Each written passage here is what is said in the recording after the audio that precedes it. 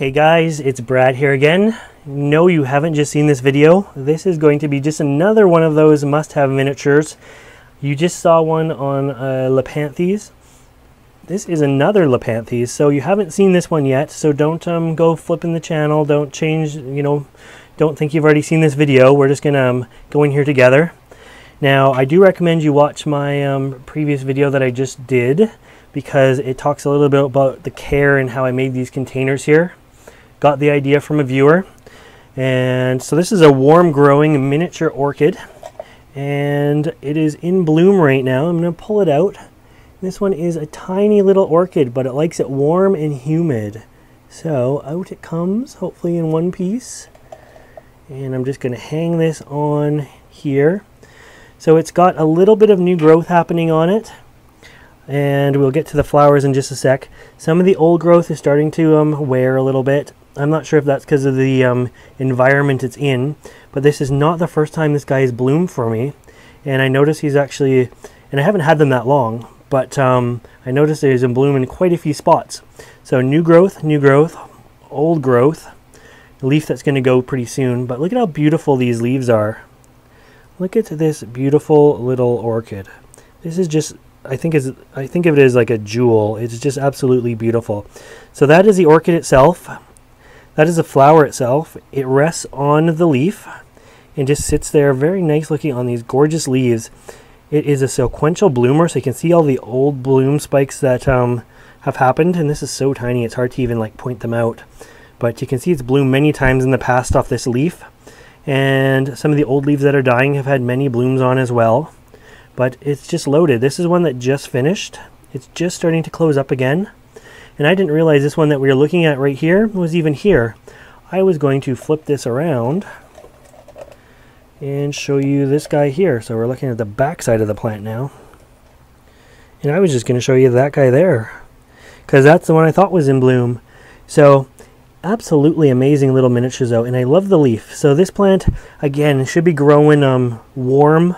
Uh, it gets about 18 degrees Celsius nights. That's 65 Cel or Fahrenheit. Um, it likes it warm in the daytime. It's going to want it shaded, um, just like I was saying with the other little miniature there.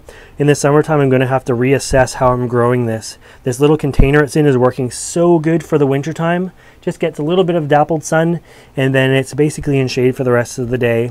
I take the lid off and put it on as I need it to give it some airflow. There's holes in the container, there's drain holes as well, but um, at nighttime the heating system dries things out.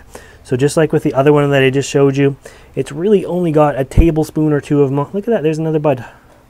It's only got a tablespoon or two of moss down there. Sorry, we're so zoomed in, it's hard to know where we're looking at and that thing would be drying out so fast. But the way it sits in in this larger container of moss, the moss just sort of is touching the base right here where my finger is and wicks up and just keeps it nice and moist continuously. And it is paying me back with lots of new growth. Maybe I should zoom this out a little bit now. And lots of flowers for me. So, and you know what I haven't done? I haven't even told you the name. Lepanthes saltatrix. Beautiful little orchid there. So anyways, just another one of those. I'm looking for that one that is in bloom. Just another one of those must-have miniature orchids. Now the sad thing about this orchid is the flowers only last for maybe three, four days and then they're gone. But it seems like this is probably the fourth or fifth time it's bloomed since I've had it. So seems to be quite easy to um, to grow. Hope you like this video on Lepanthes. I do recommend um, trying them out. These are the kind of orchids that um, you wouldn't be able to grow just on your windowsill very easily, but if you put them in a little glass vase, fishbowl, or terrarium, just with a little light there, kept some moss, kept them shaded, I think they would grow really good. Um, I would love to do a, an indoor vivarium tank someday that's on my wish list. But um, I have so much on the go right now with other stuff that it's just not necessarily going to happen at least this year. So, Lepanthes saltatrix, must have miniature orchid, warm growing, not cool growing, which is different for me. I'm glad I have the warm side of the greenhouse now to grow these in.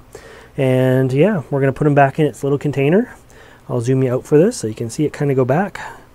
Hopefully I can zoom you out for this. And again, I put the baby tears in when I first did the um, container. And I'm thinking pretty soon I might have to take the baby tears out because it's growing so fast. And just put um, a layer of maybe live moss in the bottom would be nice. Here we go. And it just sits in there. There we go. Kind of locks in place in one of the little holes that I did. As with the other one, I had to um, melt a few holes in there to see where the proper um, spot was going to be for it. And so the bottom of the mount just touches the moss in the bottom. Super low maintenance for care right now. Um, as opposed to this would be a super high maintenance plant for me in the greenhouse because of the way things do dry out in here. But yeah, there we go. Must have miniature orchid Lepanthes saltatrix. If you want to see more videos like this, make sure you subscribe to my channel. Thanks for watching, guys.